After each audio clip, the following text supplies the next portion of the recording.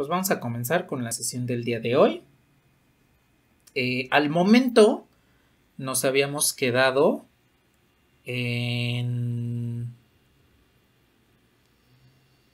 lo que vendría siendo el, las transformaciones lineales. Ahí pueden ver en su, en su pantalla lo que vendría siendo el, la definición de lo que es una transformación lineal. Entonces, eh, tenemos que las transformaciones no son otra cosa más que las funciones. Son funciones vectoriales de variable vectorial. Y este tipo de funciones, este tipo de, de lo que ya le llamaremos transformaciones, son directamente esas funciones que cumplen con conservar la suma de vectores y la multiplicación por un escalar. Entonces, aquí existen muchos tipos de funciones vectoriales de variable vectorial, pero en esencia en las que nos vamos a centrar es en las que satisfagan única y exclusivamente eh, estas dos condiciones que satisfagan, que conserven la suma de vectores y la multiplicación por un escalar. En cálculo vectorial van a utilizar cualquier tipo de transformación, no necesariamente que sea, que sea lineal. Entonces, ese tipo de transformaciones ya las podrán ver más adelante en su asignatura de cálculo vectorial, que les ayuda a algunas a definir lo que se llaman sistemas de coordenadas. Entonces, A ver, hasta aquí tienen algún comentario o... alguna duda respecto a esta cuestión de las transformaciones lineales.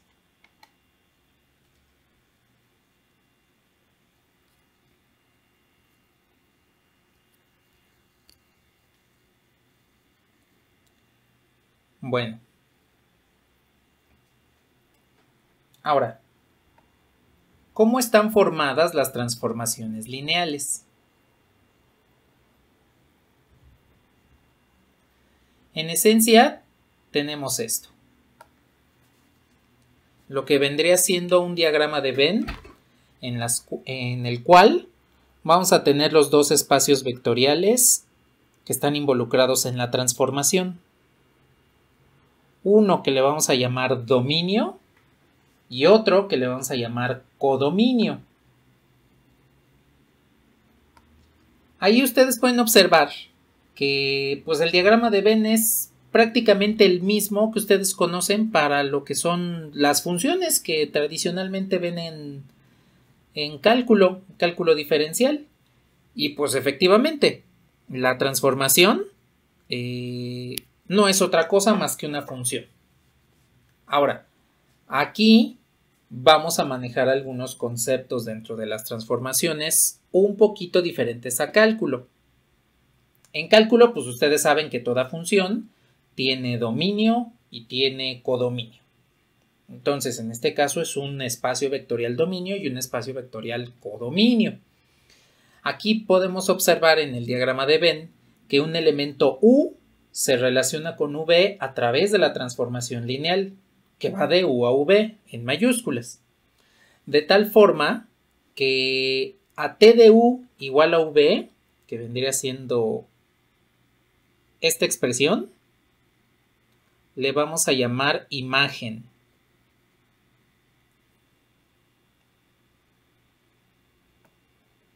Esta entonces la conocemos como imagen de U bajo la transformación lineal T. Bueno, eh, es parte de lo que ustedes, ese término de imagen es parte de lo que ustedes conocieron en cálculo y geometría analítica. Sin embargo, aquí utilizamos esos conceptos de manera un poquito diferente. Varía un poquito respecto a lo que ustedes conocen de cálculo. Entonces, aquí por ejemplo, tengo un dominio, tengo un codominio y tengo una imagen. Bueno, pues resulta que cuando yo transforme, utilizando AT, cualquier elemento del dominio, estos se van a trasladar hacia el codominio. Y todos van a estar englobados en un subespacio eh, especial, un subespacio vectorial especial, que le vamos a llamar el recorrido. Entonces, aquí lo importante del dominio y del codominio es que sepamos solo identificarlos, saber qué tipo de vector, qué espacio vectorial es el dominio y qué tipo de vector, qué espacio vectorial es el codominio. No vamos a hacer otro tipo de, cuestiones, como lo hacían en cálculo, de a ver, vamos a determinar qué vectores pueden, pueden evaluarse con la regla de correspondencia. No, porque aquí en las transformaciones lineales, todos los vectores del dominio, absolutamente todos, todo esto, puede entrar dentro de la transformación lineal. Entonces, no hay vector en el dominio que se quede sin su respectivo asociado en el codominio. Y eso es porque es una transformación lineal, debido a que conserva la suma y multiplicación por un escalar. Entonces, aquí vienen tres conceptos importantes. El primero es el recorrido, Y el recorrido no es otra cosa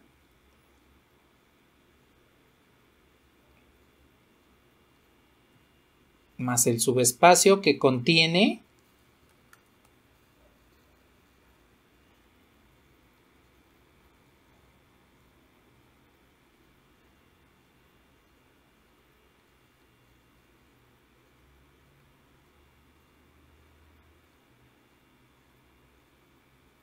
todas las imágenes bajo T. Todas las imágenes del dominio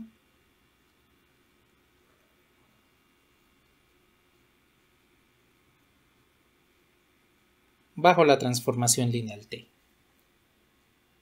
Ese es el recorrido de la transformación.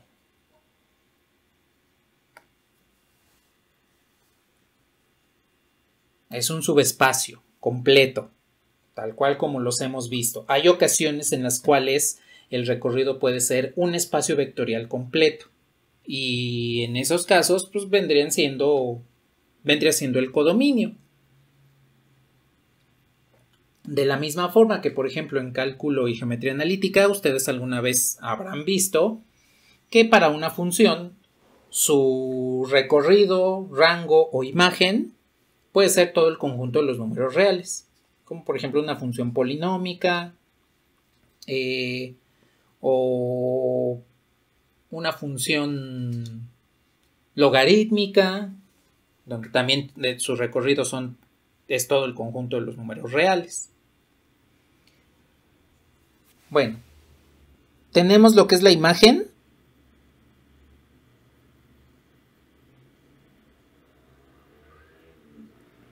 Y la imagen es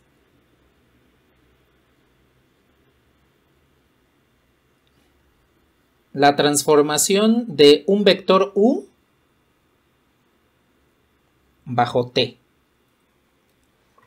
Entonces, aquí estamos clasificando al recorrido como un subespacio y a la imagen como la transformación de un elemento específico u bajo la transformación lineal t. Hay ocasiones en las cuales estos dos se llaman de la misma forma. Que el recorrido se llame imagen directamente. Entonces, eso se encuentra mucho en literatura, eh, básicamente la que viene del inglés, precisamente por, por el nombre de image, que es imagen. Entonces, hay ocasiones en las cuales el recorrido le conocen también como imagen. Pero aquí básicamente lo vamos a tomar como dos cosas diferentes. El recorrido es un subespacio y la imagen es la transformación de un vector bajo la transformación lineal. Entonces es nada más un vector en específico. La imagen es de un vector en específico. El recorrido ya es un subespacio completo.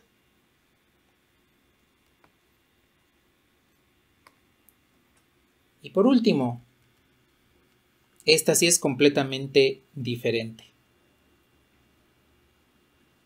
Lo que es el rango. El rango no es otra cosa más que la dimensión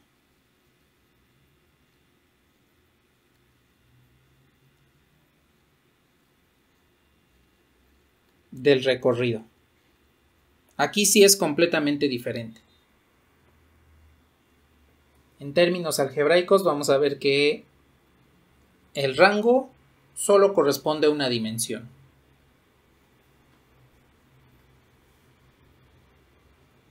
Entonces, estos son los tres conceptos diferentes que vamos a manejar el, el día de hoy, más aparte de un subespacio especial llamado núcleo. Entonces, lo primero que vamos a revisar pues es el recorrido y vamos a obtener una manera en la cual el recorrido eh, puede ser conocido a partir del, del dominio de la transformación.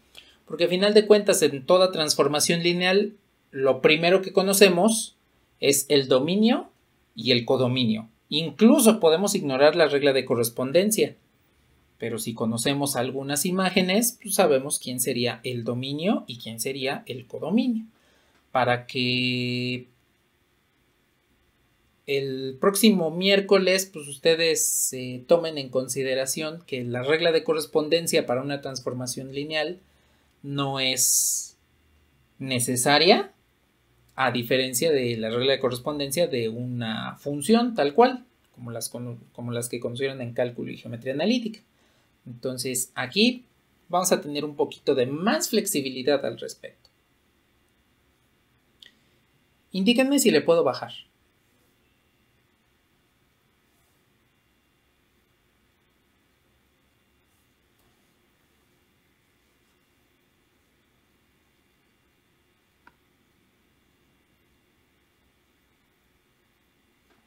Bueno, entonces vamos a comenzar con lo que es el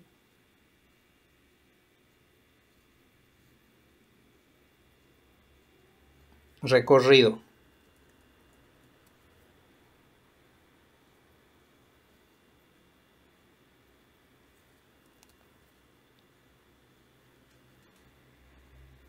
Bueno. tengo aquí mi transformación lineal que va de U a V.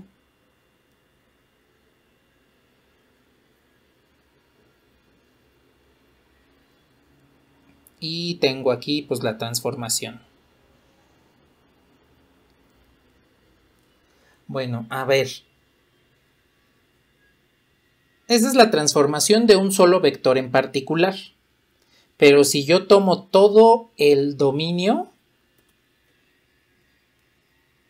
Es decir, le aplico la transformación a todos los elementos del dominio. Vamos a ver que estos se convierten en una colección de vectores del codominio, pero que no necesariamente es el codominio completo, sino solo un subespacio. Este que le voy a llamar TDU. TDU mayúscula, es decir, la transformación de todos los vectores del dominio U bajo T. Este es el recorrido de la transformación.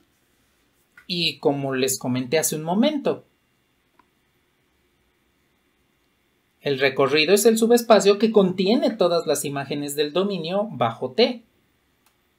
Entonces, con este diagrama de Venn podemos observar que al transformar cada elemento del dominio U, todos estos, todos, absolutamente todos estos elementos, nos van a generar este subespacio. Todas las imágenes están colectadas ahí, dentro de ese subespacio. Ahora, sí hay ocasiones en las cuales la transformación lineal toma todo el dominio y lo convierte en todo el codominio. Pero esos ya son esas son ya transformaciones lineales muy específicas, no es la regla general. Entonces, eh, con este subespacio, con este tipo de, de subespacios, vamos a poder establecer algunas otras cuestiones respecto a pues, lo que vendría siendo el teorema de dimensiones que veremos más al rato, ¿sí? Ese teorema de dimensiones, pues nos vamos a dar cuenta que nos ayuda a relacionar este subespacio recorrido con uno que veremos más o menos como en unos 50 minutos, que se llama núcleo. Entonces, aquí les pregunto, eh, si yo tengo un conjunto infinito de vectores, es decir, tengo un espacio vectorial, ¿habrá alguna manera, alguna forma en la cual ustedes puedan representar de una sola vez a todo ese conjunto? ¿A todo ese espacio vectorial? ¿O quién sabe?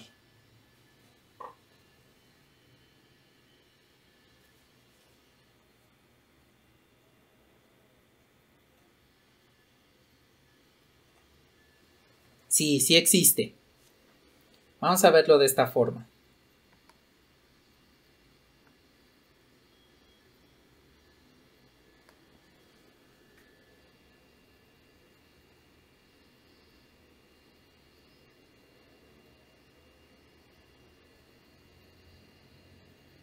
Puede utilizar tres vectores. Esto se puede extender a a n vectores, pero con 3 es suficiente. Entonces yo digo que sea A una base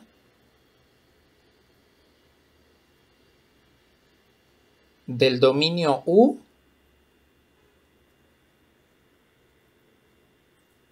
en la transformación lineal que va de U a V.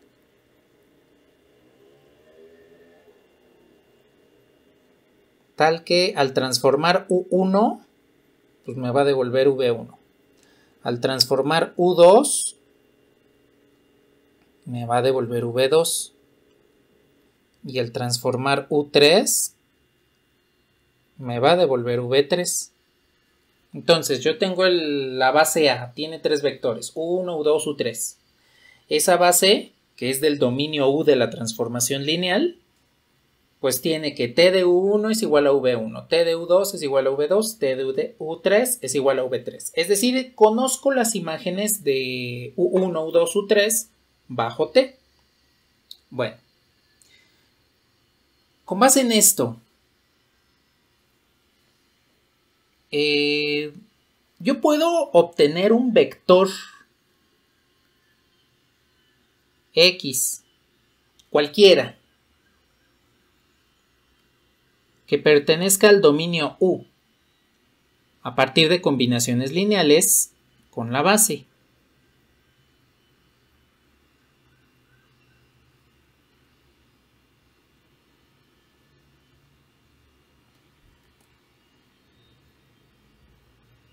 De esta forma. Cada elemento de la base se multiplica por un escalar y con esa combinación lineal puedo obtener un vector X que pertenezca al dominio U porque la base pertenece al dominio pues, Lo que hemos hecho en las últimas clases y, y lo que hicimos casi al inicio del semestre. Bueno, ahora, con base en esto, pues a esta combinación lineal yo le puedo aplicar la transformación. Es decir, le aplico la transformación lineal de un lado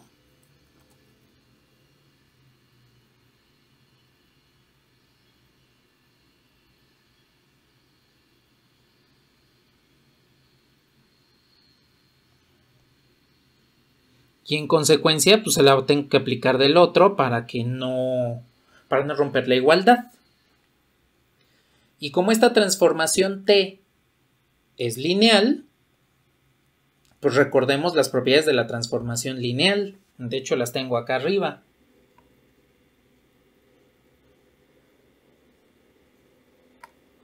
La suma puede separar a la transformación y el escalar puede entrar y salir libremente de ella.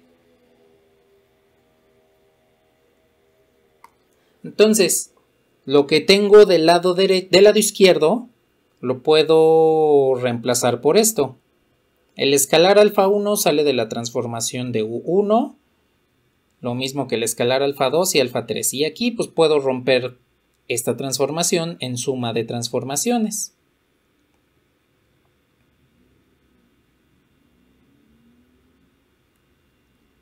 Y esto va a ser igual a t de x, la imagen del vector x bajo t. Ahora, con esto ustedes pueden observar que tengo t de u1, t de u2, t de u3, que son estas. Dense cuenta que pues no necesitamos como tal la regla de correspondencia de la transformación. Si yo quiero obtener la imagen de un vector x bajo t, solo necesito hacerlo combinación lineal de una base, que vendría siendo esta. Al aplicarle la transformación lineal, pues puedo sustituir las imágenes de esa base y encontrar la transformación, la imagen del vector x. Entonces, con que ustedes conozcan de la transformación la imagen de una base, todos los vectores de una base ya conocen sus respectivas imágenes, no necesitan la regla de correspondencia. Pero eso sí, siempre debemos comenzar a trabajar en el dominio. Ustedes observen que esta transformación lineal, esa combinación lineal, esta no es transformación, esa combinación lineal la hice primero en el dominio. Eso quiere decir que en el dominio debo encontrar quién es alfa 1, alfa 2 y alfa 3, para que al aplicar la transformación lineal, pues ya conozco las imágenes y por la combinación lineal del dominio, ya sabría quiénes son los escalares. 1 a 3. ¿Sí? Entonces, el miércoles lo vamos a ver un poquito más a detalle.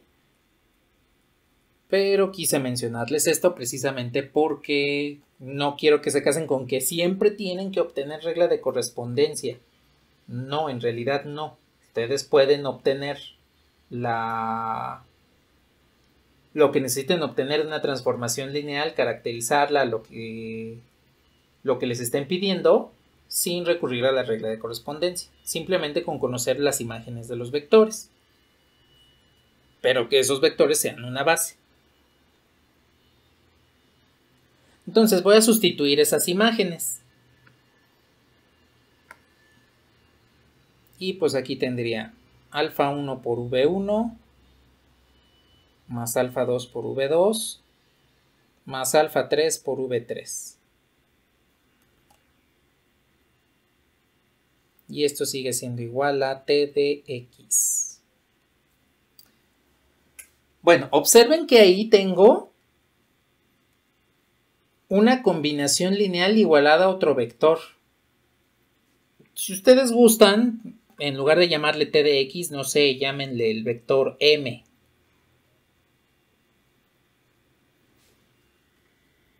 Y pues lo que tendría sería la combinación lineal de un conjunto de vectores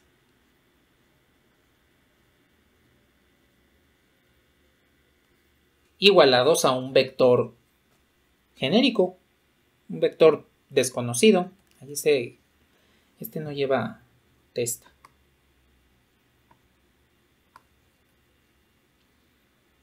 De hecho, ustedes pueden ver que esta combinación lineal pues se parece mucho a esta, ¿no?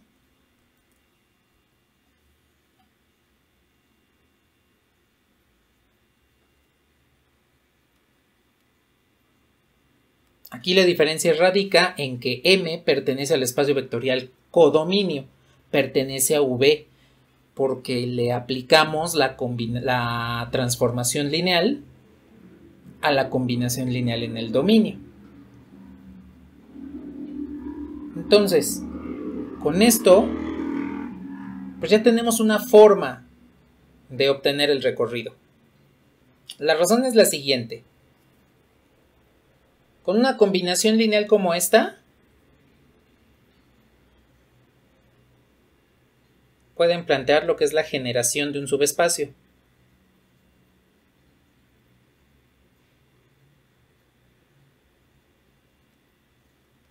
Así tal cual como lo hicimos en el tema anterior. Alfa veces el primer vector, más alfa veces el segundo, más alfa veces el tercero, y eso igualado a un vector genérico. Y con eso obtenemos las condiciones específicas de algún espacio o subespacio vectorial. Bueno, pues entonces esto quiere decir que las imágenes de una base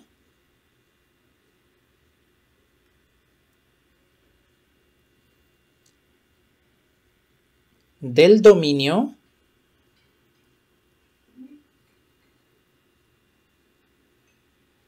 de la transformación lineal.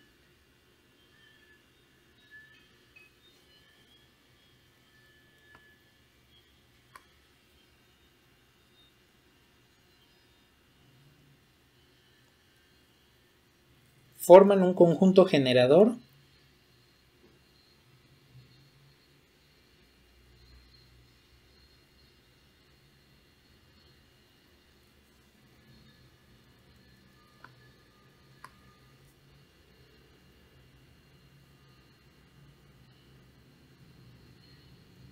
del recorrido, siempre. Entonces, si yo tengo una base del dominio, tengo sus imágenes, puedo obtener sus imágenes y esas imágenes van a formar un conjunto generador del recorrido, siempre. Precisamente por lo que acabamos de, de observar.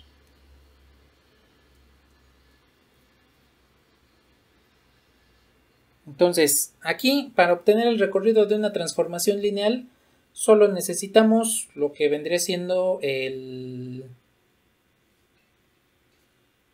las imágenes de una base y aplicar lo que sabemos del conjunto generador.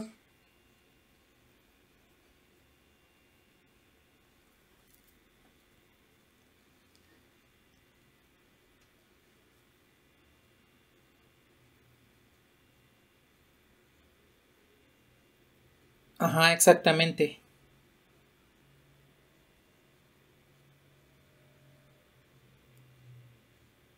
Sí, claro.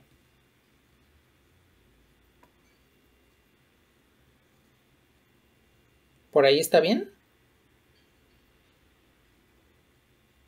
Vale.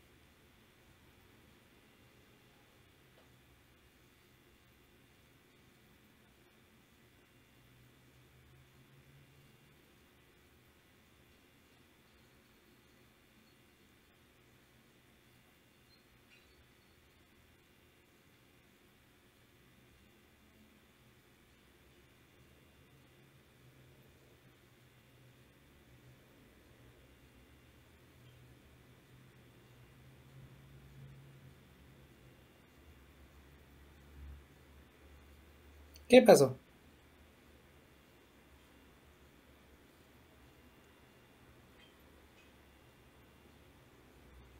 Ajá, que sería del 2, 2, 3 y 4 de julio.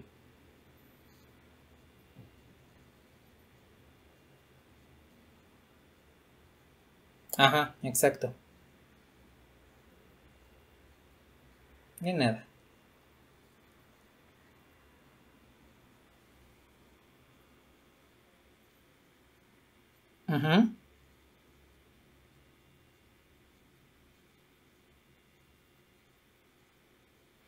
Sí, sí, en esencia.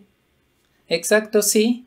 Sí, la diferencia con el cambio de base que vimos la sesión la, bueno, la semana pasada en general, es que aquí lo podemos hacer de un tipo de, de vector a otro tipo de vector. Por ejemplo, puedo cambiar de base de un polinomio a una pareja ordenada siempre y cuando se cumplan ciertas condiciones que el próximo miércoles comentaremos al respecto. Pero sí, efectivamente es un cambio de base no solo dentro de un espacio vectorial, sino entre espacios vectoriales.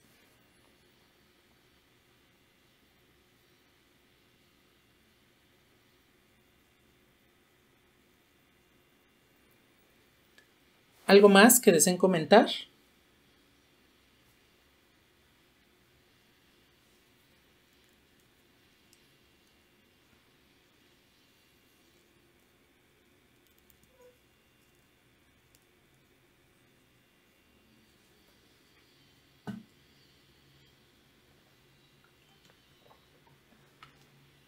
Bueno, a ver, vamos a ver un ejemplo de cómo obtener el recorrido de una transformación. Lo que vamos a hacer es lo siguiente. Vamos a obtener el recorrido de una transformación. Después vamos a ver el núcleo. vemos un ejemplo de núcleo. Y al final vemos un último ejemplo, pero ya involucrando los dos subespacios vectoriales que estamos analizando el día de hoy. A ver, entonces. Sí, claro. Listo. De nada.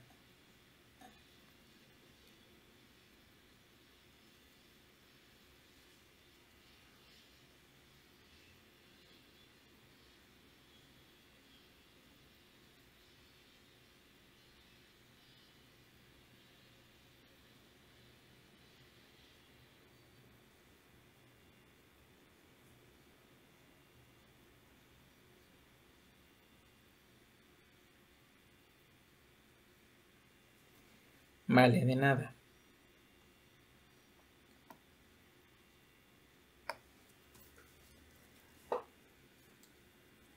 A ver, el ejemplo es este.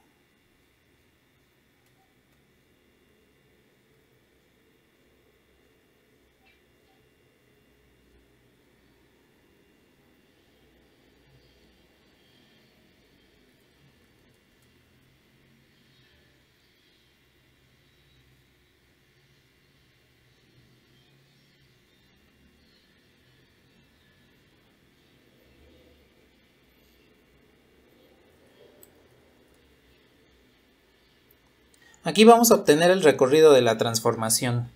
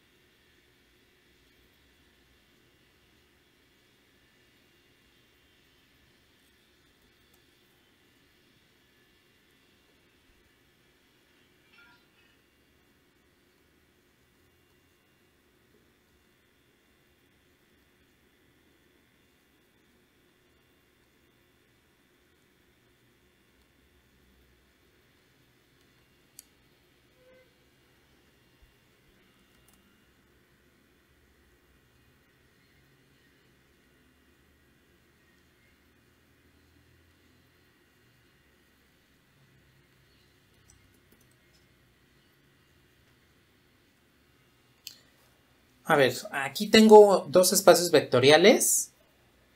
P2 de polinomios de grado menor o igual a 2 con coeficientes reales y números complejos. Ahí ya me dice que son dos espacios vectoriales reales, es decir, con escalares reales. Y la transformación lineal T, que va de complejos a polinomios, denotada por esa regla de correspondencia. Entonces lo que vamos a hacer es obtener el recorrido de la transformación.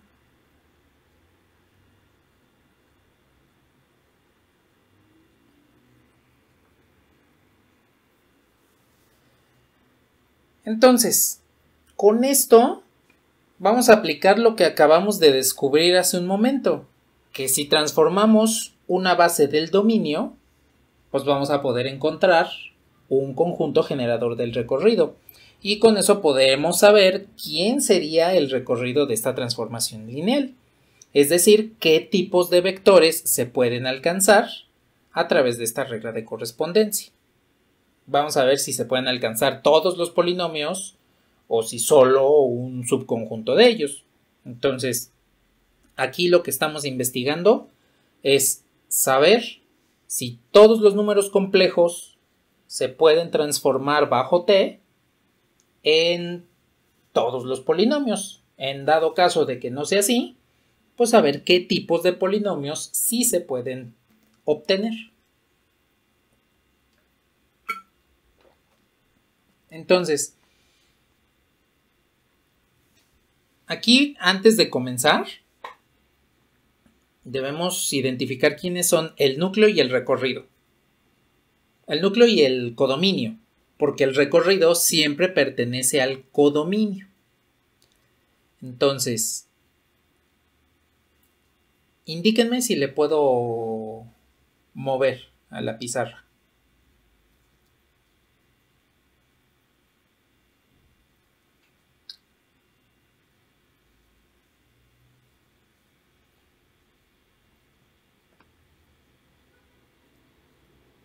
Lo único que voy a hacer es copiar esta regla de correspondencia.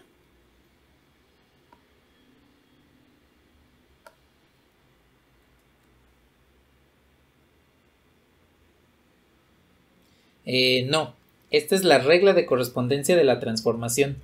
Esta es la que nos va a decir cómo vamos a cambiar de número complejo a polinomio.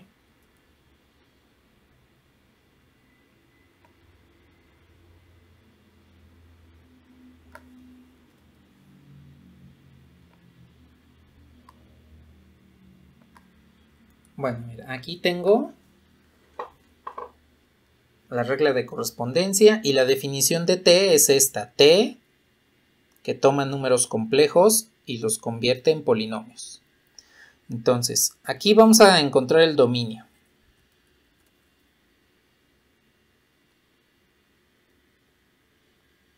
El dominio de la transformación siempre lo observamos en la parte eh, izquierda de la, de la definición. Es decir, aquí lo que me está indicando es que t va a tomar números complejos y los va a convertir en polinomios. Entonces, lo que la transformación lineal t toma es el dominio. Y en consecuencia aquí el dominio son los números complejos.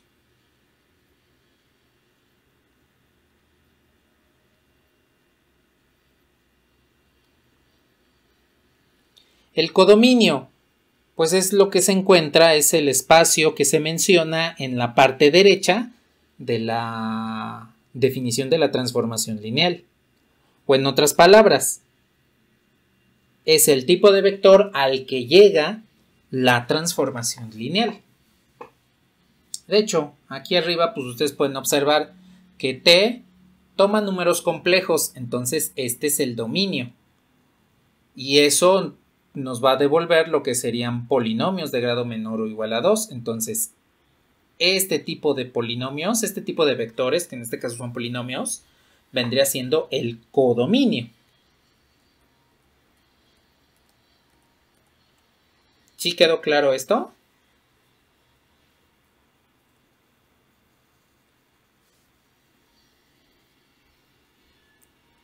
Vale. A ver ahora, el dominio de números complejos lo podemos expresar así. A más B y tales que A y B pertenecen a los reales. ¿Qué dimensión tiene este espacio vectorial?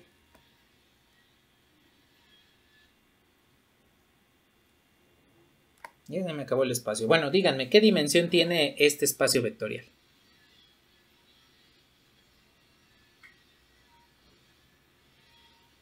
2 exactamente.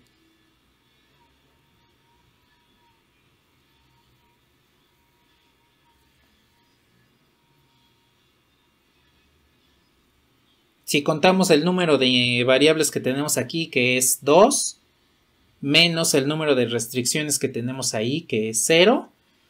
Entonces 2 menos 0, pues, la dimensión de este espacio es 2. Eso quiere decir que la base o las bases de este espacio vectorial van a tener dos vectores y solo dos vectores.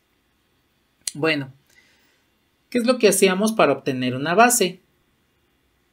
Pues tomábamos nuestro vector genérico y les dije, no se compliquen.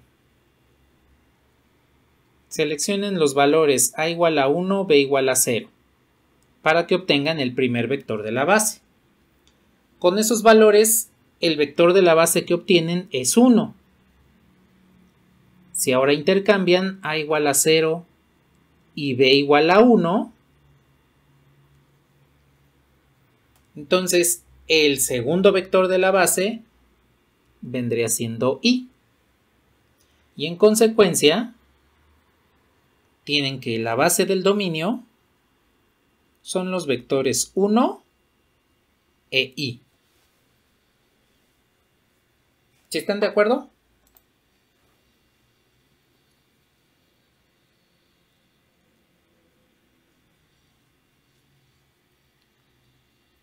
Vale, pues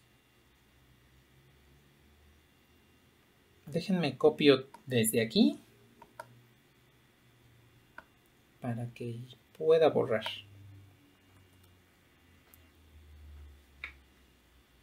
Ajá, sí, siempre y cuando eh, al final no nos den un conjunto dependiente.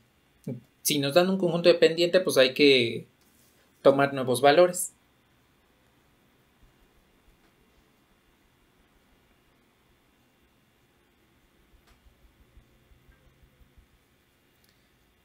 A ver. Les voy a borrar.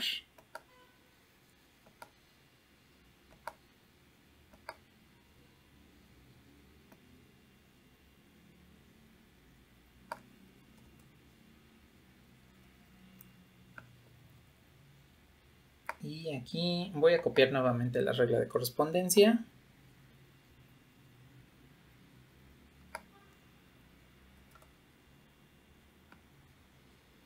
y la voy a colocar acá.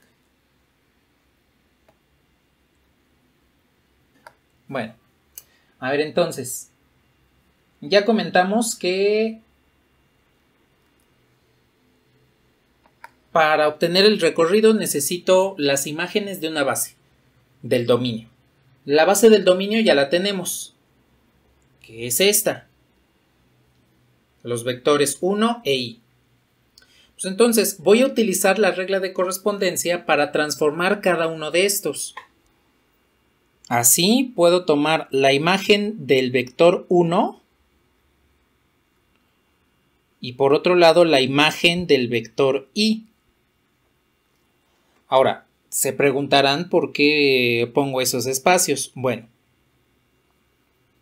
1, pues, en esencia, como número complejo completo, lo pueden representar como 1 más 0i. E i lo pueden expresar como 0 más i. La razón de que los estoy expresando de esta forma es para que ustedes observen cómo vamos a evaluar la transformación lineal.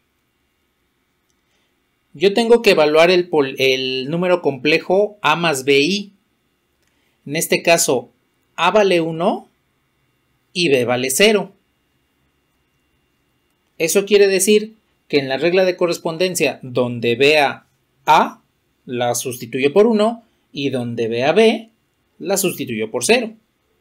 Así tal cual como lo hacen con las funciones, cuando ustedes evalúan, por ejemplo, f de x igual a x cuadrada y quieren saber cuánto es f de 2, pues esto es lo mismo que 2 elevado al cuadrado. Eso es lo que hacen, donde ven la x sustituyen el 2. Pues aquí es exactamente lo mismo. Donde veamos A vamos a sustituir el 1 y donde veamos B vamos a sustituir el 0. Es como evaluar una de las funciones usuales, pero en lugar de mantener una variable ahora tenemos dos. Entonces, si sustituyo A igual a 1 y B igual a 0 en esta regla de correspondencia voy a obtener lo siguiente. A igual a 1, pues es 2 por 1. más b igual a 0, aquí tengo un 0, más a igual a 1, b igual a 0, más a igual a 1 por 3, pues es 3, menos b igual a 0, pues es 0. Si reduzco este polinomio, voy a bajar esta imagen.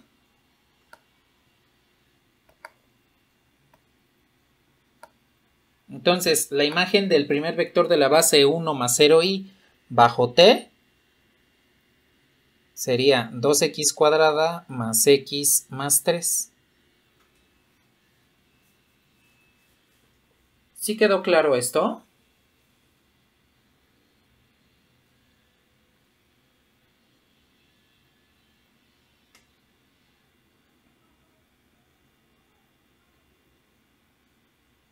Bueno, a ver, díganme ustedes cuál sería la imagen de 0 más i bajo t, considerando que aquí ahora a vale 0 y b es el coeficiente que acompaña a la i, que vendría siendo 1.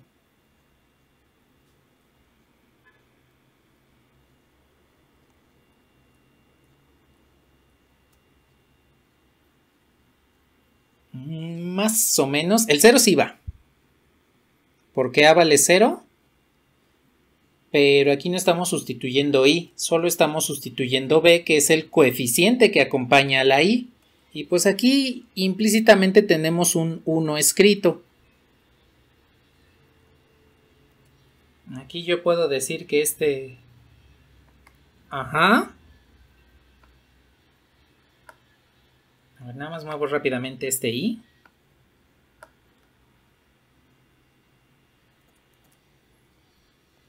Y pongo aquí un 1i. Y aquí sería 0 más 1 en x cuadrada más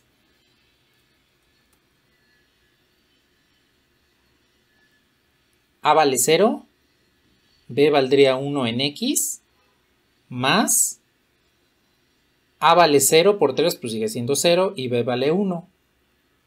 Menos 1. Y entonces este polinomio sería x cuadrada más x menos 1.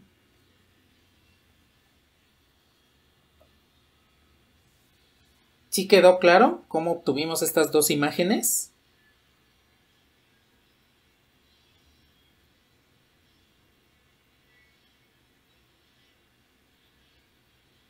Ah, vale.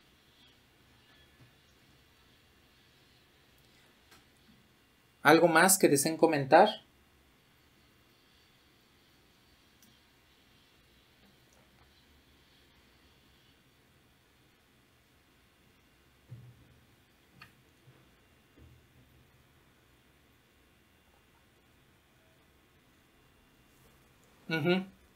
Sí.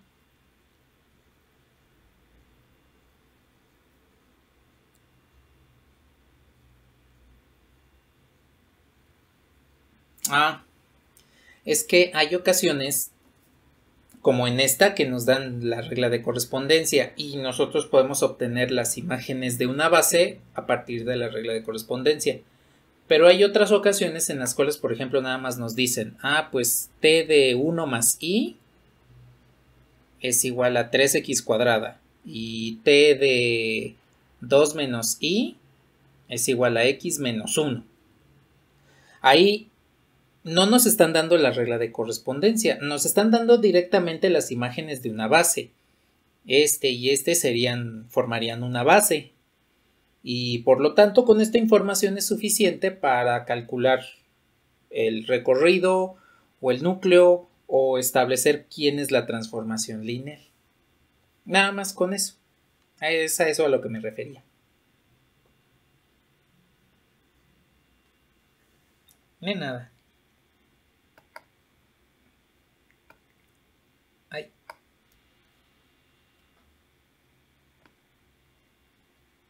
Bueno, a ver, ya tengo las imágenes de la base. Entonces, puedo aplicarles una combinación lineal.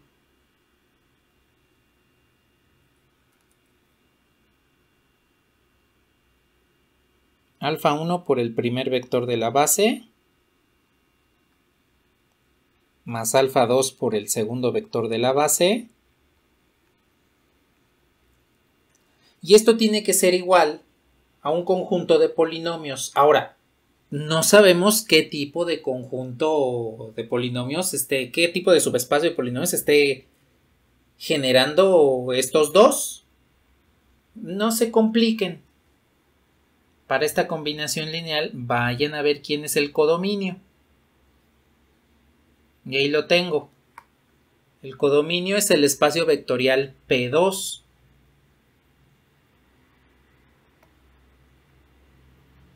Y si vemos el enunciado completo,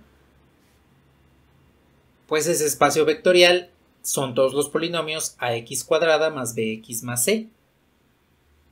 Eso quiere decir que la combinación lineal que estamos realizando hasta acá abajo pues es con ax cuadrada más bx más c.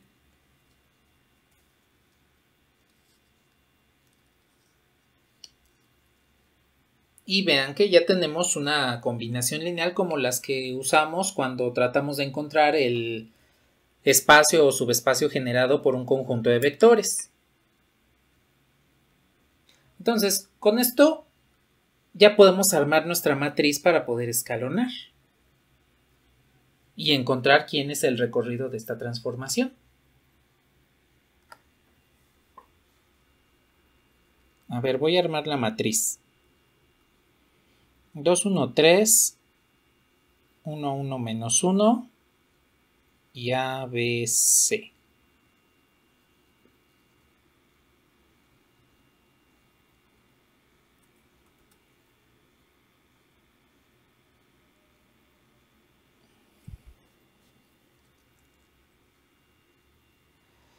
Bueno, a ver, voy a hacer esta transformación elemental. R1 se va a intercambiar con R2.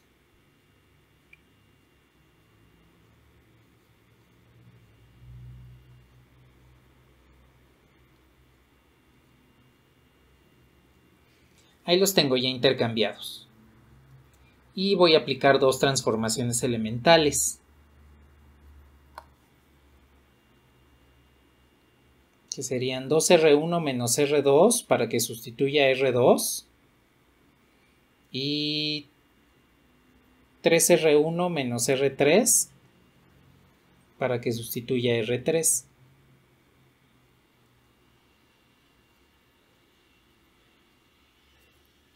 A ver, multiplico por 2 el primer renglón y le resto el segundo. Entonces 2 menos 2 es 0, 2 menos 1 es 1 y 2b menos a. Y multiplico por 3 el primer renglón y le resto el tercero. 3 menos 3 es 0. 3 menos menos 1 es 4. Y 3b menos c.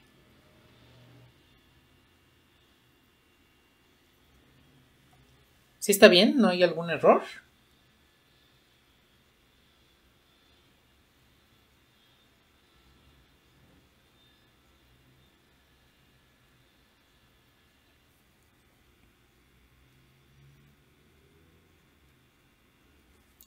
Y última transformación elemental.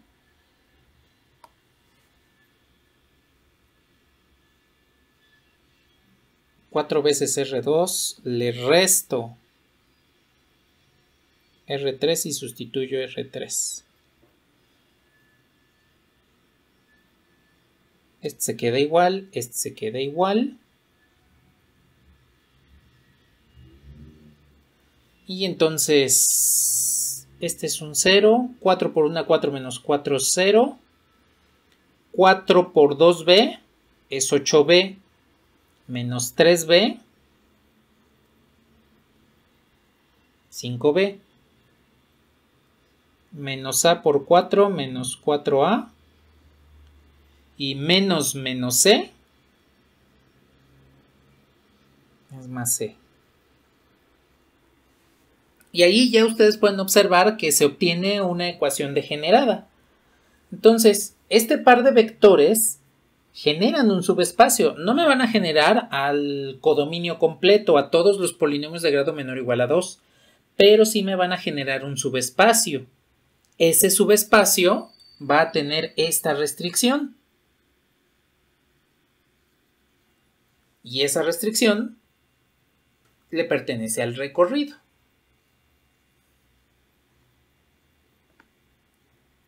Entonces, recordemos, el recorrido siempre pertenece al codominio. Para esta transformación lineal, ¿quién era el codominio?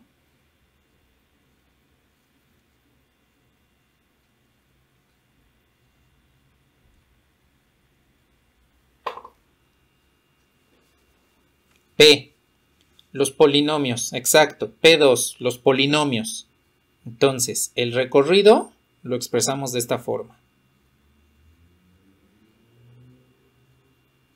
T del dominio, es decir, la imagen del dominio es el recorrido y son todos los polinomios ax cuadrada más bx más c, que son los polinomios de P2, tales que menos 4a más 5b más c es igual a 0 con a, b y c que pertenezcan a los reales.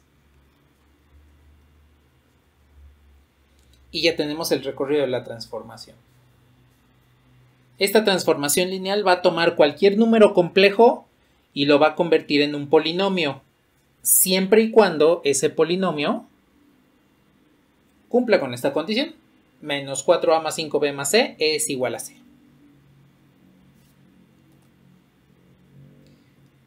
Pues ya tenemos el recorrido.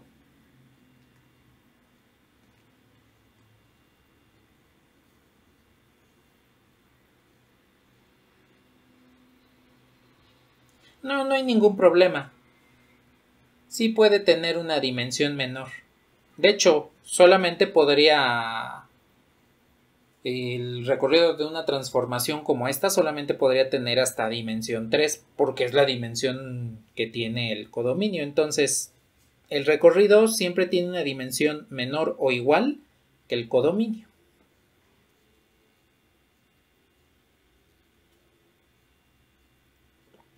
De nada. ¿Algo más que deseen comentar?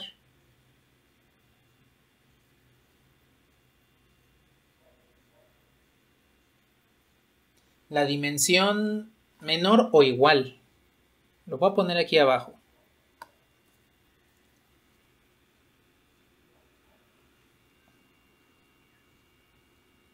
Al codominio.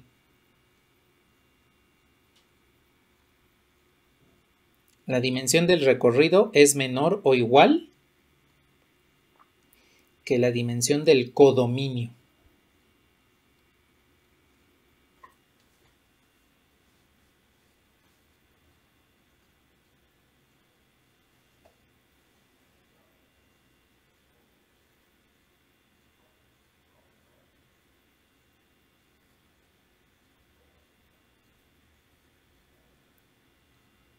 ¿Hasta aquí todo bien?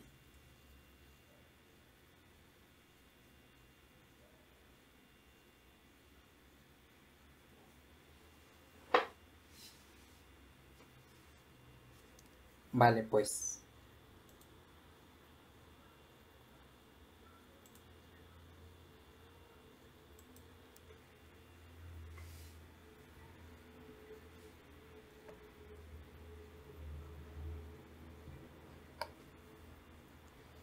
Vamos a comenzar a ver el otro subespacio. Y en más o menos, yo creo que como en unos 20, 25 minutos, ya hacemos un último ejemplo de recorrido de núcleo y vemos la relación entre ambos. Entonces, el núcleo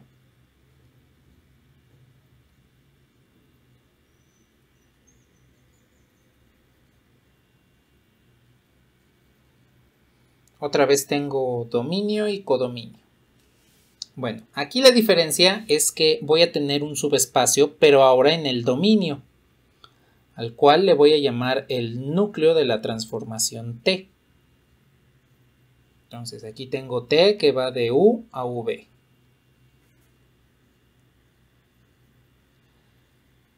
La característica que tiene este subespacio es que al momento de tomar un elemento, el que ustedes quieran, dentro de este subespacio núcleo, la única imagen que va a corresponder es el vector nulo en el codominio. Es decir, todos aquellos vectores del núcleo, del dominio, que se transformen en el vector nulo, forman el núcleo.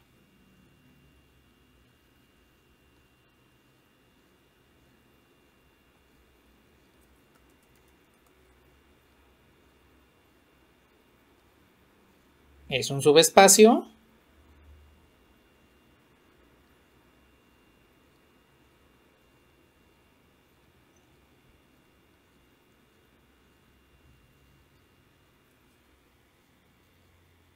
y este subespacio contiene vectores del dominio.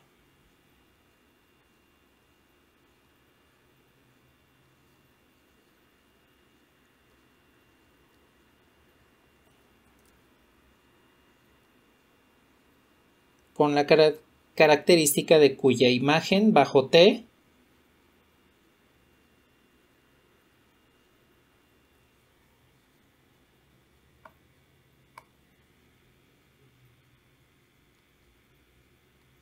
es el vector nulo.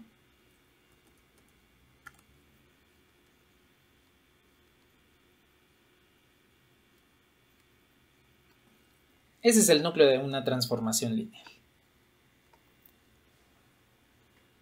Ahora, este es un concepto que ustedes como tal pues no vieron en cálculo y, geometría analítica. Eh, pero en las transformaciones lineales existe para todo tipo de transformaciones. Entonces, el núcleo en una función como las, como las que manejaron en cálculo puede o no puede existir, pero aquí para toda transformación lineal siempre existe.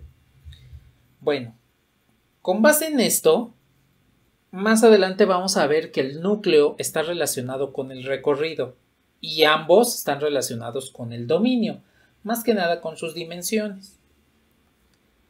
Ahora, desde mi particular punto de vista, el núcleo es más simple de encontrar por el hecho de que solamente estamos buscando una sola imagen. Todos los vectores pueden eh, convertirse en, en el vector nulo y entonces todos esos vectores pertenecerían al núcleo. Y lo voy a poner de la siguiente forma.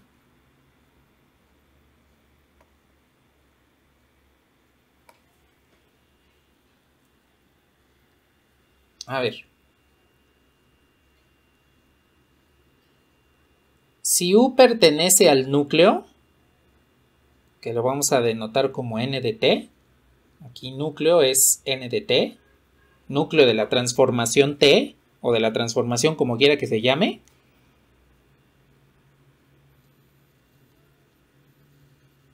entonces t de u es igual al vector nulo.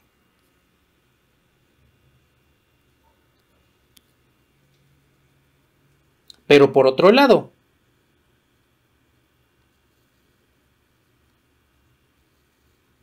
T de U igual a V es la regla de correspondencia.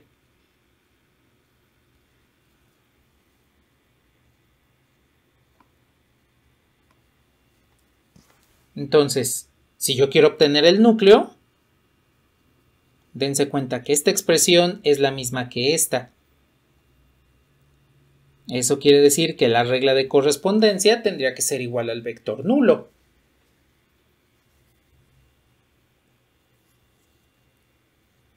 De esta forma, podemos encontrar el núcleo de la transformación a partir de la regla de correspondencia. Este es el único elemento en, el cual si queremos obtener el núcleo, eh, sí necesitamos como tal la regla de correspondencia.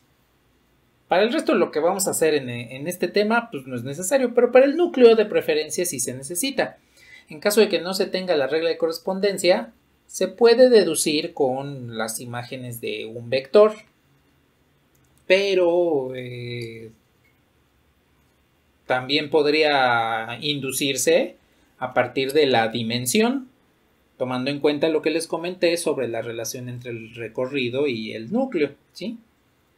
Pero entonces, de inicio, pues para el núcleo, tal vez es más necesario que tengamos la regla de correspondencia que las imágenes de los vectores, aunque se puede calcular de otras formas, ¿sí?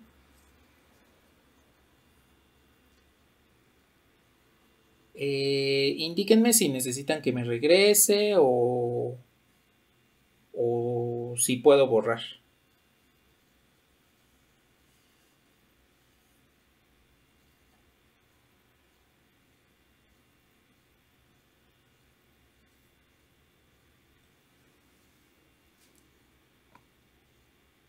Este.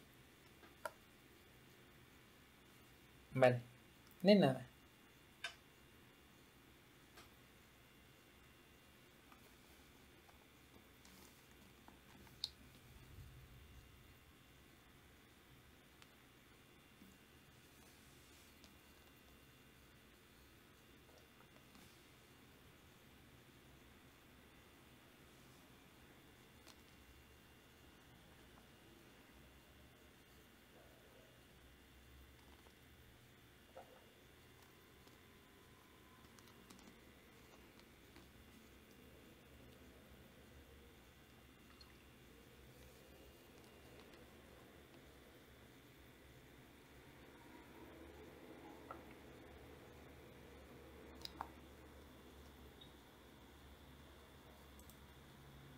¿Le puedo bajar?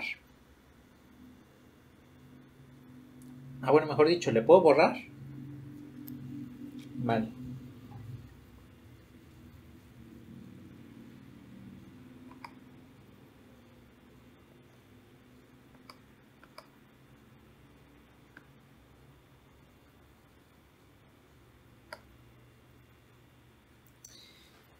A ver, Vamos a ver rápidamente un ejemplo de cómo calcular el núcleo y ya después vemos qué relación existen entre núcleo y recorrido.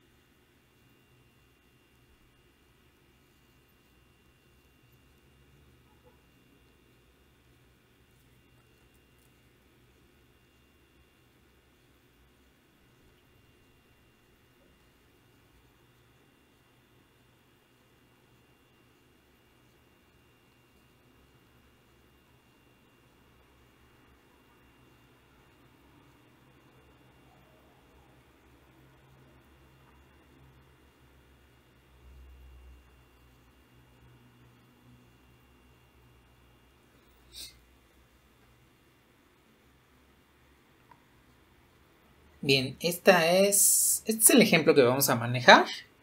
Entonces nos dice CAT de M2R3, la transformación lineal tal que T de la matriz AB menos BC es igual a esa terna ordenada.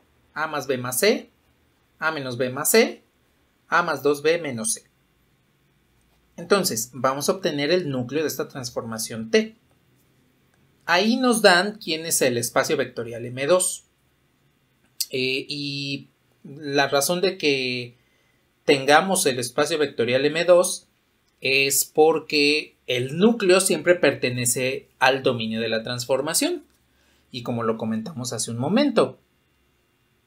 El núcleo lo vemos en la parte izquierda de la definición de la transformación o bien en la regla de correspondencia como lo que está recibiendo T para después devolver eh, un vector de R3. Entonces, ay, le di donde no era.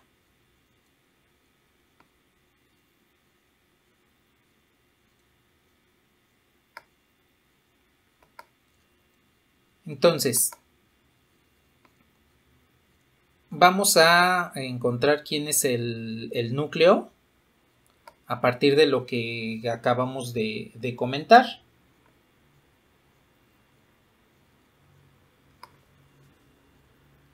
Aquí voy a recordar, pero ya en términos de estos vectores que estamos manejando.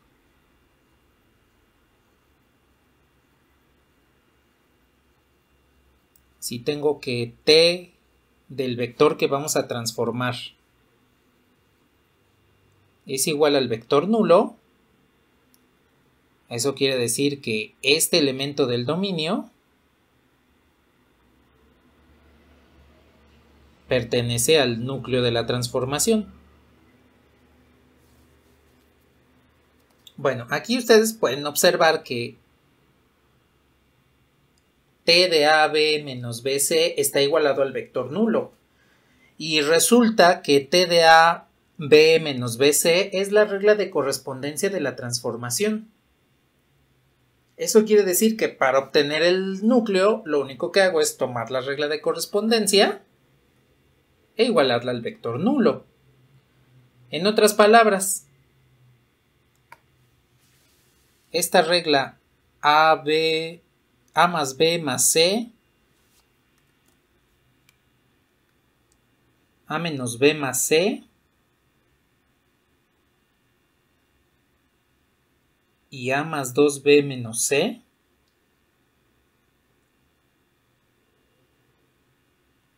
Tendría que estar igualada al vector nulo del codominio. En este caso, el codominio, pues lo tenemos acá arriba. Expresado en la parte derecha de la definición de la transformación lineal. Entonces, el codominio es R3. Por lo tanto, el vector nulo que estoy trabajando aquí es el vector nulo de R3.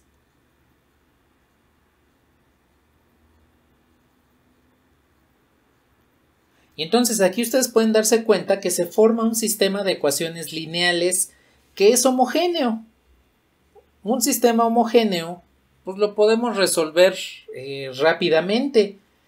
Y la solución de este sistema van a ser las condiciones del núcleo. Entonces, en este caso, pues tendría que A más B más C es igual a 0. A menos B más C es igual a 0.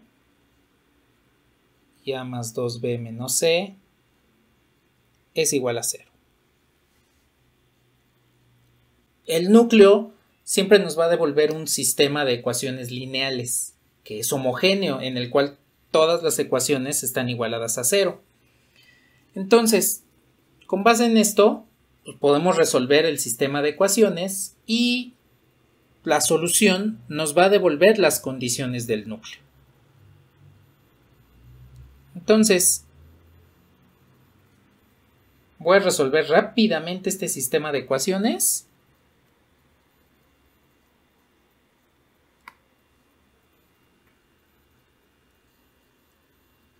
Y lo voy a hacer de la siguiente forma. Eh, de la ecuación a menos b más c igual a 0, voy a despejar b.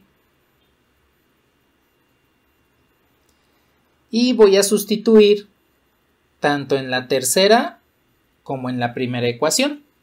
Ahí voy a sustituir b. Entonces me queda a más b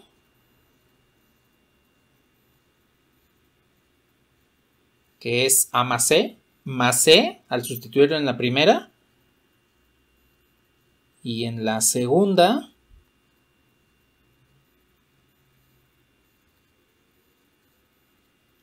al sustituirlo en la, en la tercera ecuación. Bueno, b igual a a más c sustituyéndolo en la tercera ecuación. A ver, de la primera entonces obtengo que 2a más 2c es igual a 0. Y de esta última obtengo que 3a, al multiplicar 2 por a, pues me queda 2, más esta a, 3a. Y 2 por c, 2c menos c.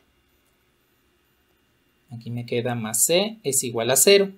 Bueno, de esa última ecuación, despejo c. c es igual a menos 3a. Y la voy a sustituir en 2a más 2c.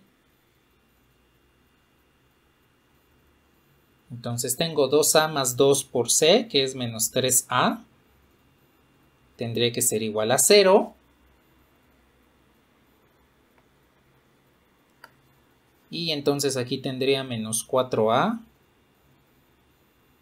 es igual a 0. Por lo tanto, tengo que a es igual a 0. Si a es igual a 0, entonces c es igual a 0. Y si a y c son ceros, Debido a esta, b tiene que ser igual a 0. ¿Sí están de acuerdo?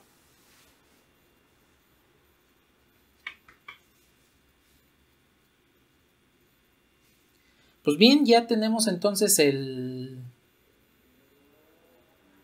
el, la solución de este sistema de ecuaciones. Estas que tenemos aquí son las condiciones que debe satisfacer el núcleo de la transformación. Recordemos que el núcleo pertenece al dominio. Si me voy hacia arriba,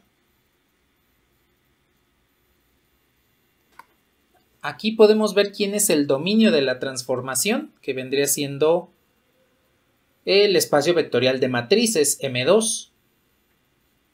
Entonces, puedo escribir aquí directamente que el núcleo de la transformación n de t son todas las matrices A, B menos B, C, tales que A es igual a 0, B es igual a 0, C es igual a 0, considerando que a, B y C pertenecen a los reales. Y con eso ya obtuvimos el núcleo. Aquí ustedes pueden ver que, por ejemplo, la dimensión de este núcleo es 0. Porque tengo tres variables que son A, B y C, menos las tres condiciones que aparecen aquí en medio. Pues 3 menos 3 es 0, entonces la dimensión de este subespacio vectorial es 0. Solo contiene un vector, que sería el vector nulo. Recordemos que el, subespacio nulo es el único que tiene dimensión 0. Y con esto ya podemos, hemos calculado el núcleo de una transformación lineal.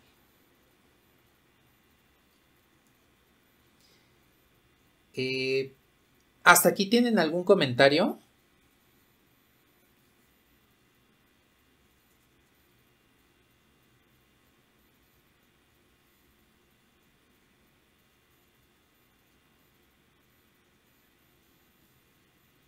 Ajá, exactamente.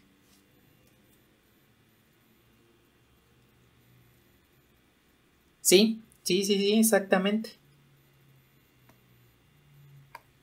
Entonces aquí tenemos que la dimensión de este núcleo es igual a cero. Y en general, la dimensión del núcleo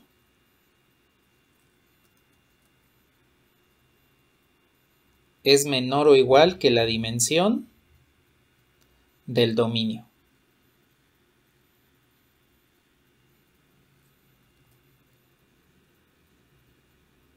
Y algo que se me pasó comentarles. Así como el rango es la dimensión del recorrido, La dimensión del núcleo también tiene nombre y es nulidad. A la dimensión del núcleo también le podemos llamar nulidad.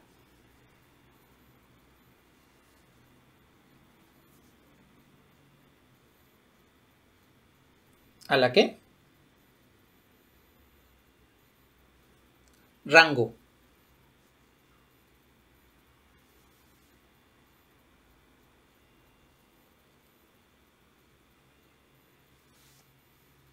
Sí. ¿Por dónde? ¿Por ahí? Vale. De nada.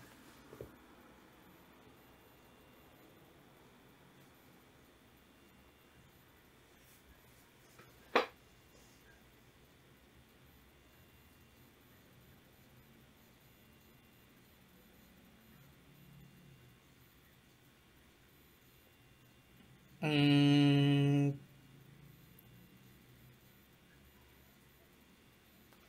al codominio, más bien al dominio, ¿no? Que la dimensión del núcleo sea igual a la del dominio. Sí, sí, exactamente. Sí existe un tipo de transformación lineal en el cual todo el dominio está incluido en el núcleo y se conoce como transformación lineal nula.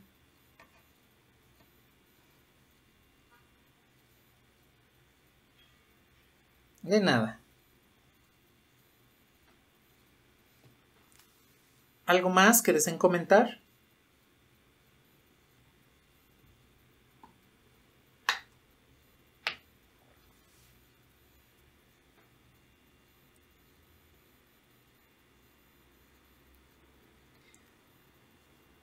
Bueno, vale, pues ya nos queda poco tiempo, entonces le voy a bajar. Y vamos a ver un último ejemplo. Aquí voy a obtener tanto núcleo como recorrido. Entonces, vamos a tener una transformación lineal Q que va de R3 a R2. Y esta transformación lineal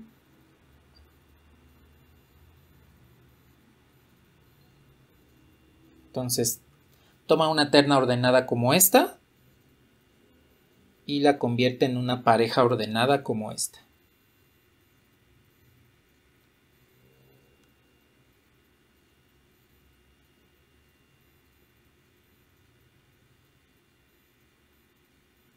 Bueno, ahí está. Entonces, lo que vamos a hacer es obtener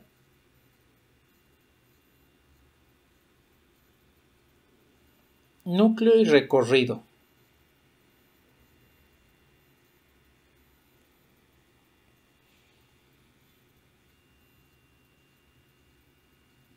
y sus respectivas dimensiones.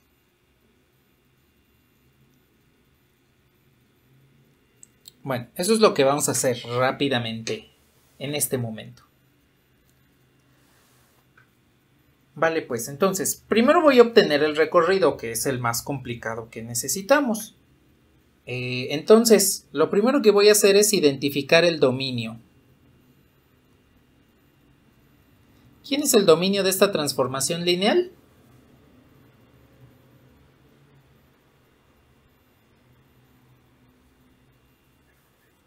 Exacto, es R3. Siempre el que tenemos del lado izquierdo en la definición de la transformación. Entonces, tengo aquí R3. ¿Qué dimensión tiene R3?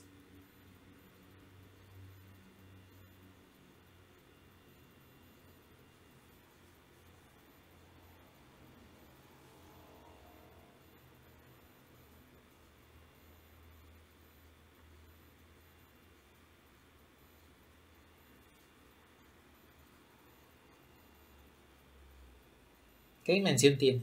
3. Exacto, también es de dimensión 3 porque recuerden que R3 pues es X, Y, Z, tales que X, Y, Z son reales.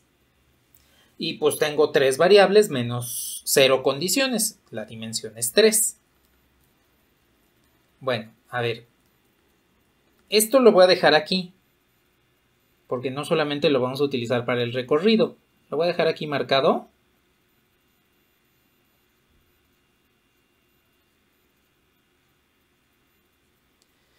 Entonces, como R3 tiene dimensión 3,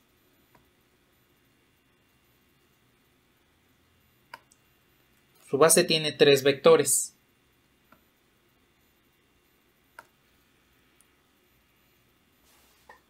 ¿Quién sería la base que ustedes propondrían para el espacio vectorial R3?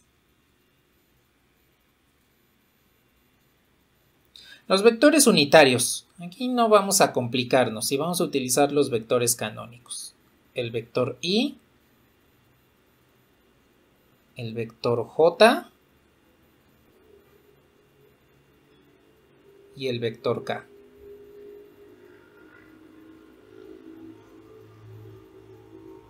Ahí los tengo. Entonces, si quiero obtener el recorrido, necesito obtener las imágenes de esta base de cada uno de estos vectores utilizando la regla de correspondencia.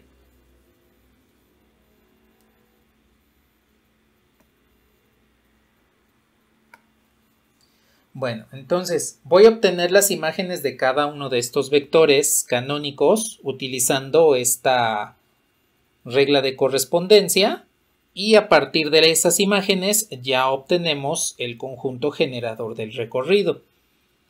Entonces, obtengo la imagen de 1, 0, 0 bajo esta transformación T. Recuerden que es evaluar eh, los, las variables de acuerdo a cómo se encuentran en la posición. Entonces, en este caso, A vale 1, B vale 0, C vale 0 y donde hayan A, B y C, sustituimos 1, 0, 0 respectivamente.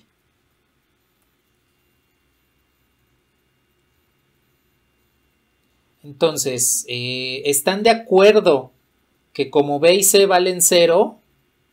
Pues estos elementos en la regla de correspondencia van a ser 0. Y como A vale 1, pues la imagen nada más me va a quedar 2, 1.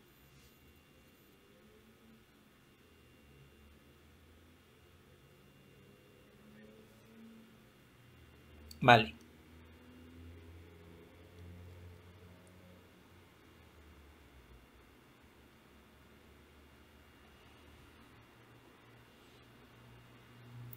A ver, ahora tengo 0, 1, 0. ¿Cuál es la imagen de 0, 1, 0 bajo esta transformación lineal? Ahora tengo que A y C valen 0 y B vale 1. Exacto. Entonces, esta imagen es 1, 1. Y la última. T de 0, 0, 1. En este caso, A y B valen 0. Y C vale 1 exacto. Menos 1, menos 2. ¿Hasta ahí todo bien?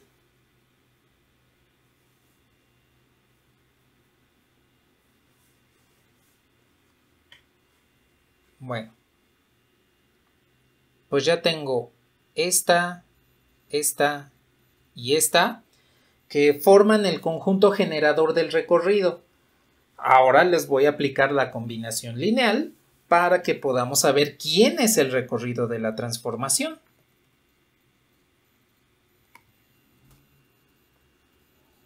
Entonces, alfa 1 por la primera imagen,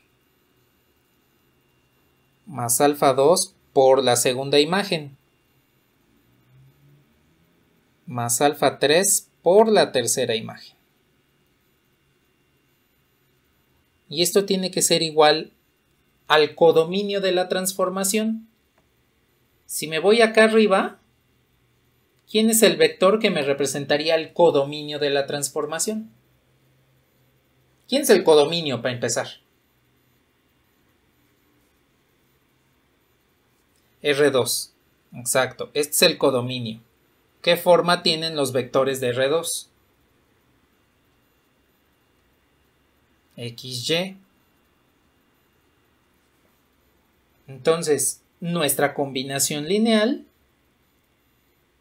aquí abajo, pues la vamos a igualar a XY. Aquí no se compliquen. No, no igualen a otro vector que no sea del codominio. Aquí directamente pueden decir, ah, pues mis imágenes de inicio pretendo saber si me generan al codominio. Si no me lo generan, pues no hay problema, generan un subespacio. Entonces, de inicio aquí estamos igualando al vector genérico del codominio. Y pues tenemos una combinación lineal como las que hemos trabajado desde ya hace varias clases.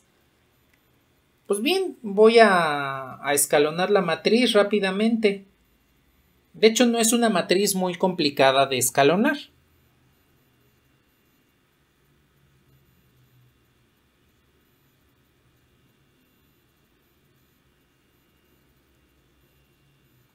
Aquí la tengo. La única transformación elemental, de hecho, que voy a hacer es el renglón 1, le voy a restar dos veces el renglón 2 para sustituir el renglón 2.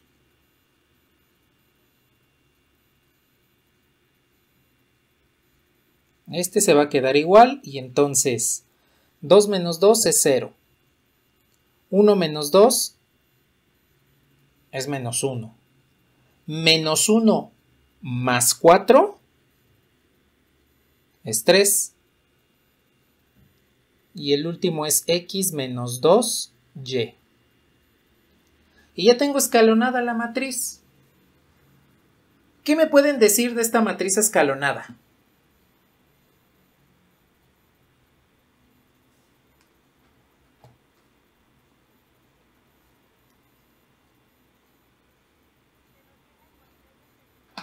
Exacto. Exacto. No hay ecuación degenerada y por lo tanto no genera un subespacio, sino que genera al espacio vectorial completo. Entonces, aquí rápidamente lo escribo.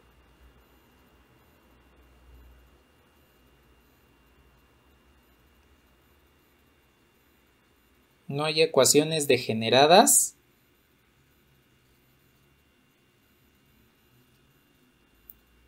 y en consecuencia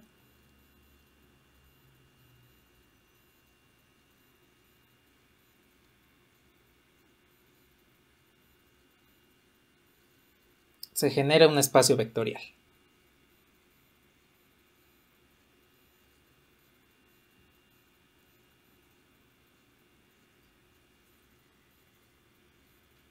Pues ya lo tenemos aquí.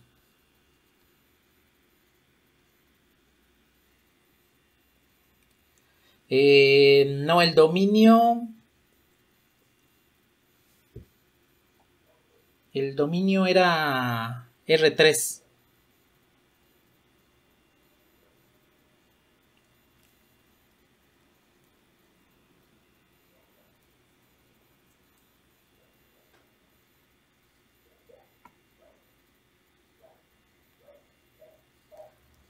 A ver, entonces rápidamente aquí tengo que el recorrido de esta transformación Q.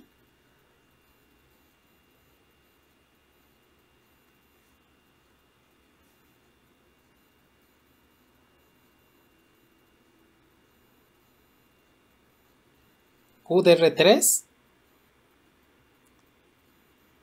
vienen siendo todos los vectores XY y como no hay ecuaciones degeneradas, pues significa que XY pertenecen a los reales. Aquí podemos darnos cuenta entonces que el recorrido de la transformación es igual al codominio. Que es precisamente lo que habíamos comentado hace un momento. Puede darse el caso de que exista una transformación lineal eh, en el cual el recorrido de la transformación sea igual al dominio, al codominio. Y en este caso entonces la dimensión del recorrido de la transformación, pues tiene que ser la dimensión del codominio, que como es XY, el codominio de esta transformación es XY, pues esta dimensión es 2. De hecho, aquí la podemos observar. Dos variables menos cero restricciones, entonces la dimensión es 2. Y este también lo voy a dejar aquí encerrado. Bueno, ya tengo el recorrido, ya tengo el dominio y pues nada más nos hace falta el núcleo, el núcleo de la transformación que como les comenté hace un ratito pues es más rápido de obtener. Bueno, eh, ya nos quedan pocos minutos entonces aquí nada más le voy a meter un poquito de velocidad para que podamos terminar a la hora.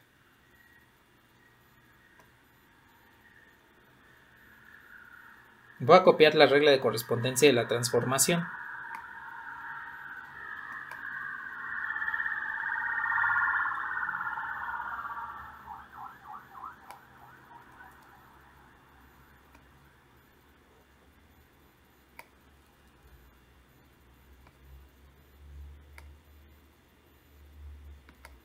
Bueno, ahí lo tengo recordando que el dominio de esta transformación es R3, son estos vectores, y por lo tanto el núcleo debe pertenecer a R3. Bueno, entonces,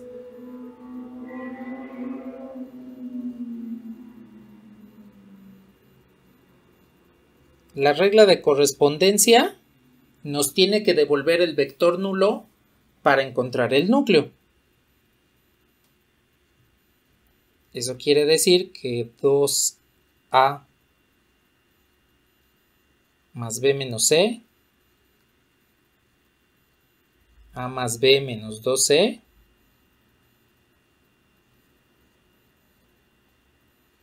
es igual al vector nulo del codominio, es decir, vector nulo de R2, que es 0, 0.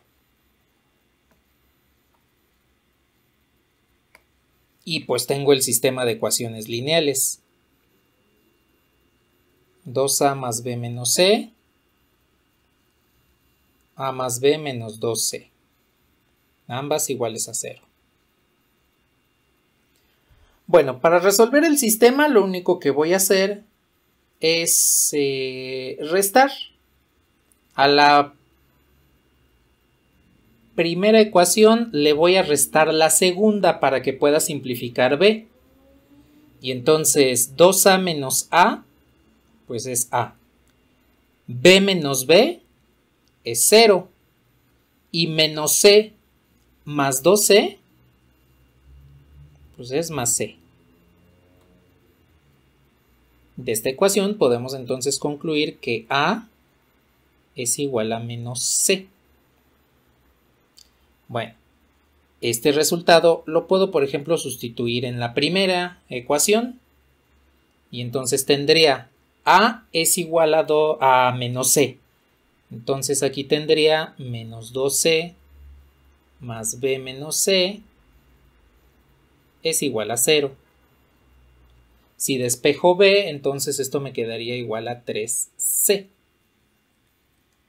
Ahora, quiero preguntarles, ¿Cuántas ecuaciones y cuántas incógnitas tenemos en este sistema de ecuaciones?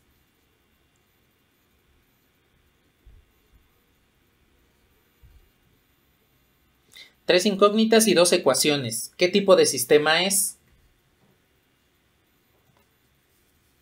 ¿Una o muchas? ¿Cómo? Muchas muchas soluciones, compatible indeterminado. De hecho, pues aquí lo vemos. C nos va a quedar como un parámetro libre. A y B van a depender de C. Pues entonces aquí tengo lo que vendrían siendo las condiciones del núcleo. El núcleo de esta transformación va a cumplir que B sea igual a 3C y A sea igual a menos C, con C un número real. Entonces, el núcleo de esta transformación, ah, que le puse Q, y de hecho aquí también debí ponerle Q. Le puse T y no sé por qué le puse T, por costumbre. En realidad la transformación es Q. Aquí también le puse T, pero no es T, es Q. Acá lo mencionamos. Entonces, el núcleo de esta transformación Q son todos aquellos vectores del dominio ABC, tales que A es igual a menos C y B es igual a 3C con A, B y C que pertenecen a los reales. ¿Cuál es la dimensión de este espacio, de este subespacio? 1.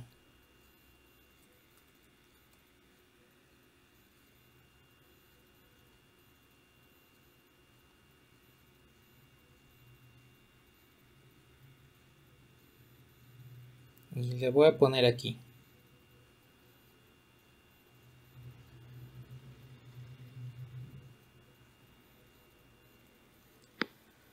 Bueno, pues ya obtuvimos lo que nos pedían, los subespacios recorrido y núcleo, cada uno con su dimensión. Y ahora, ya nada más para terminar, esto ya es lo último.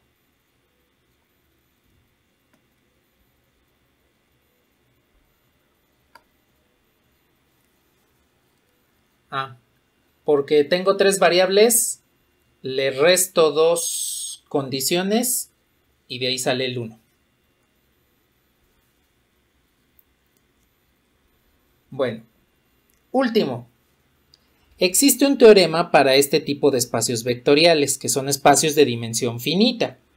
Al decir dimensión finita quiere decir que podemos contar cuántos vectores hay en la base, ¿no? Por ejemplo, aquí puedo contar un vector en su base, eh, por eso es que la dimensión es 1 en el recorrido puedo contar dos vectores en su base y por lo tanto es dimensión 2. Esas son las dimensiones finitas.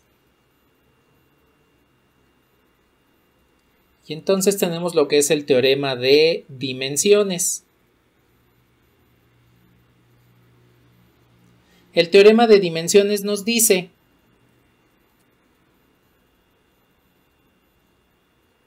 la dimensión del dominio siempre tiene que ser igual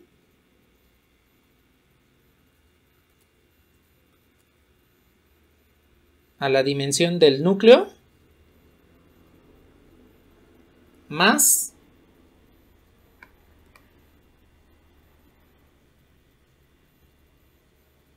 la dimensión del recorrido siempre. Entonces, si yo conozco la dimensión del núcleo, aquí es 1,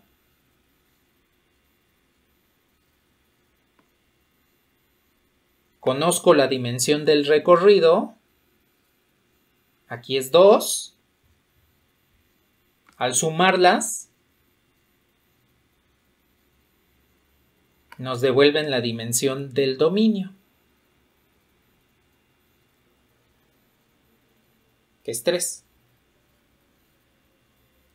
Entonces, tengo aquí directamente lo que vendría siendo la dimensión del núcleo más la dimensión del recorrido igual a la dimensión del dominio.